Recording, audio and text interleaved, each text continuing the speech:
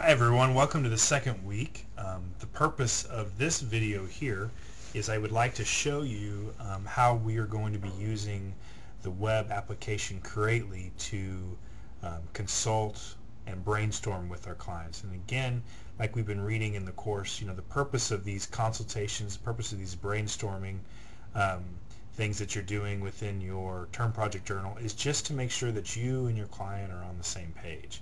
You never want to move forward with a design uh, for a client unless you truly know that you're both on the same page. And something like utilizing something like Creately um, can help you uh, to make sure that you and your client are on the same page. So to get started, you know, go to creately.com and then what you're going to want to do is you are going to want to set up an account. I actually already have an account set up, but um, so I'm going to, since my browser window here is a little smaller, I, I have to scroll over. So I'm going to go click on login and I'm going to enter, I've already set my account. You could sign up here, but I'm going to go ahead and enter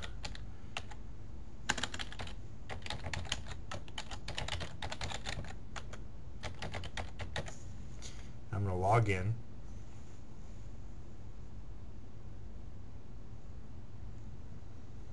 Now that I've logged in, I can then go over to this Creately button again and I can click on Application.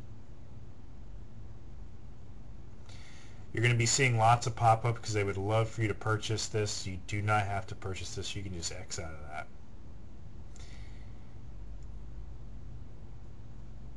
It's going to automatically load previous.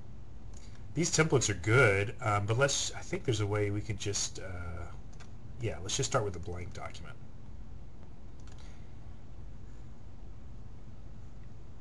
So basically, this is just um, a blank space where you can draw different things, use different symbols, make flowcharts. You can, you know, add basic shapes, arrows, block shapes, yada, yada, yada.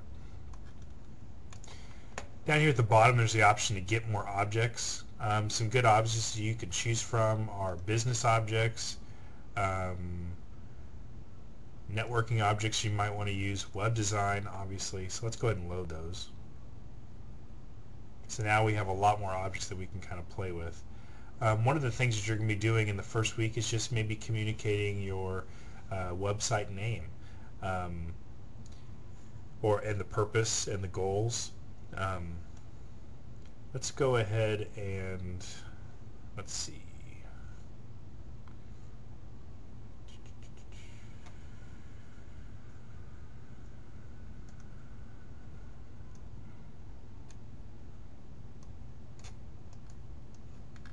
Can just drag a shape straight on to the to the document here.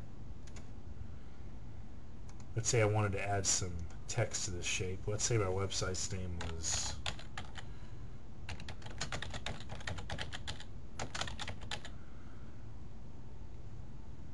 Joe's Clunker Cars. Um, you can highlight that text. You can increase the font size. I'm purposefully not showing you exactly what I would like to see in your web images because I really want everyone to be creative and everyone's going to be making their image, their consultation images, their brainstorm images with their clients differently and they're going to be utilizing different shapes.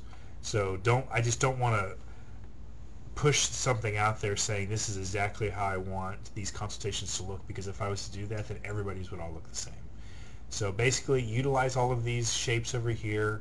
Uh, you don't have to utilize, sorry, you don't have to utilize all of them, but utilize some of the shapes over here and um, brainstorm with your client information about their site. In, in this week we're, we're brainstorming the site name, the purpose, the goals, uh, some ideal or target users. Um, there's different shapes over here that could help you uh, do that and we're going to be continually building within this image each week because next week we're going to be building in uh, where you're going to be clarifying uh, making sure that you fully have all the planning information in, in place but then you're also going to be uh, building in some analysis information. In the next video I'm going to be showing you how to export this image that you made as a JPEG which you can then attach in the discussion area.